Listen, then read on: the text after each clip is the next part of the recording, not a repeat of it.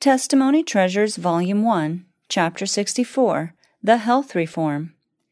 December 10, 1871, I was again shown that the health reform is one branch of the great work which is to fit a people for the coming of the Lord.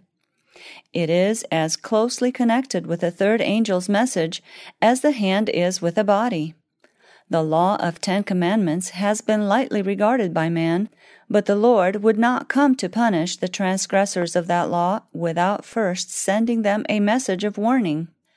The third angel proclaims that message. Had men ever been obedient to the law of Ten Commandments, carrying out in their lives the principles of those precepts, the curse of disease now flooding the world would not be. Men and women cannot violate natural law by indulging depraved appetite and lustful passions and not violate the law of God. Therefore, He has permitted the light of health reform to shine upon us, that we may see our sin in violating the laws which He has established in our being.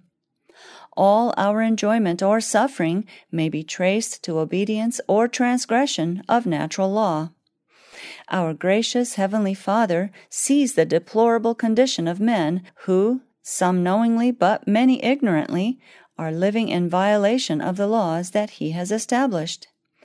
And in love and pity to the race, He causes the light to shine upon health reform.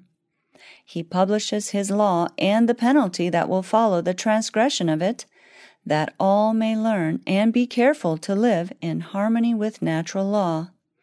He proclaims His law so distinctly and makes it so prominent that it is like a city set on a hill.